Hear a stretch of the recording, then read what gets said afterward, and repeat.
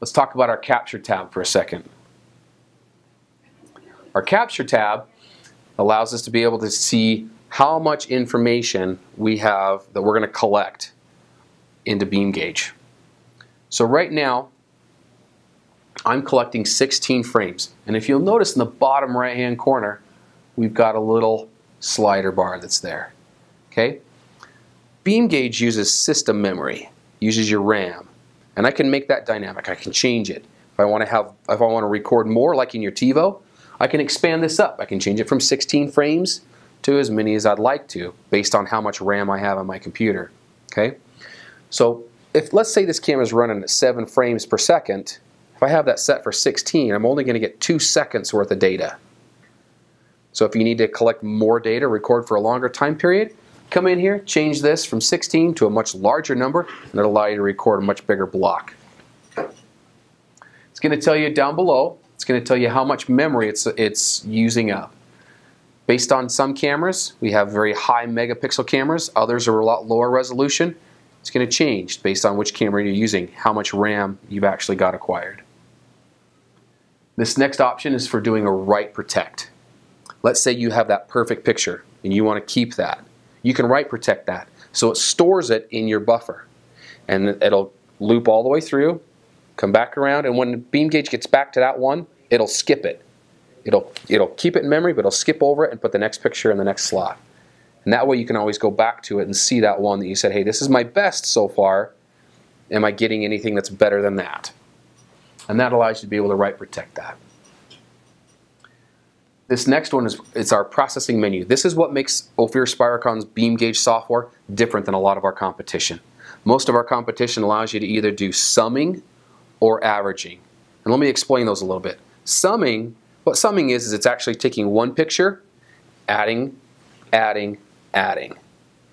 And that's what summing is. You just add up all those sig that signal from all those pictures and you get one resultant. Averaging is different. It takes say three frames and then gives you an average result of all those three frames. And that's where we're different than our competition. Our competition allows you to do one or the other. We allow you to do both. So you could take and you could do a lot of summing, take that really, really, really weak signal, multiply it, and then at the same time you could take that again as one average, add another one, and add another one. So it allows you to be able to do very detailed, deep data analysis. Take that really weak signal, bring it right up out of the noise.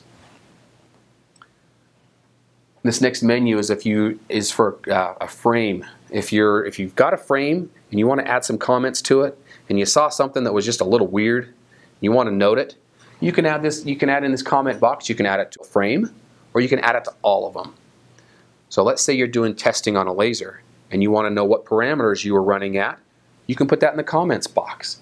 Or if you just saw one anomaly, the laser hiccuped at this particular frame, you can record it and then come back in and add those notes a little bit later. This reference menu, it's, a, it's an option to be able to turn on and say, here's a perfect Gaussian as compared to my data. My data is a little bit noisy, but what does its Gaussian equivalent look like? And that's what this option is for. This source rate this is again where our, our software is different than a lot of other software. Right now we're running in what we call a frame priority. And you have the option to do either a frame priority or a results priority. Frame priority means I'm most concerned about the next frame from the camera. Give me the next frame and show it to me.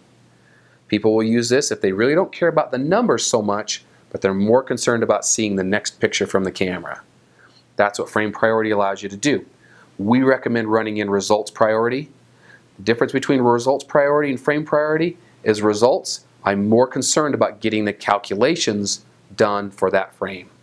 So the camera may send you three frames, but if it's not done computing frame number one and all the parameters you have turned on, it will ignore frame two and frame three until it's done. Once it's done, then it will accept the next frame from the camera. We recommend the results priority. Why? Because that way your results are the most accurate. It's great to be able to get a picture, but we want to be able to calculate all that information on it, we need to be using the results priority menu. The option next to it is allowing us to be able to capture at different intervals. And this is something that we've had a lot of customers ask for and allows us to be able to kind of set up the way we collect data from a camera differently. We can collect all the frames. Just stream us the video. Give us all that video. Or if we wanted to, we could set and capture one frame over a time period. Let's say you're running a laser for a 24 hour time period. And if you're collecting at seven and a half frames a second, 30 seconds, 60 minutes, 24 hours, that's a lot of data.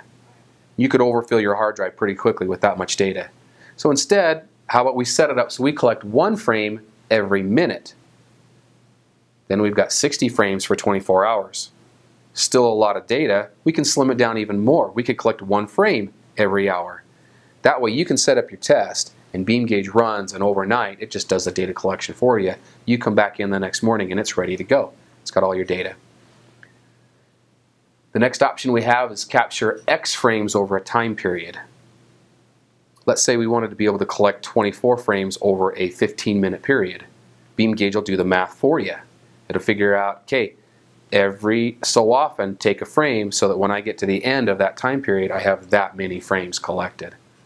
Or we can do what's called a burst capture. That burst capture allows you to be able to capture a big burst of frames. Let's say you want to capture 15 frames and then wait for a 15 minute period and then capture 15 frames again. So you're not capturing just one frame, you're capturing a burst of frames in that time period. So that's kind of a nice feature to be able to have if you're doing a lot of deep data analysis. One other feature that we have here is we have the ability to do what's called off-axis correction. Let's say you're working with a lens because your beam is this big. There isn't a camera out there that's got a, a detector that's this big. So we're going to put a lens on that camera and we're going to shine the we're going to shine the, the laser at a target. And the camera is going to be off on an angle. So we've got an angle of 45 degrees allows us to be able to compensate because if you take a quarter and you hold a quarter up straight like this and you look at it, that quarter is going to look round. But if you turn that quarter on a 45 degrees, now the quarter looks really narrow this way, but it still looks the same height. How do you correct for that? And that's what our off-axis correction allows you to do, is it allows you to be able to expand or compress one axis over the other.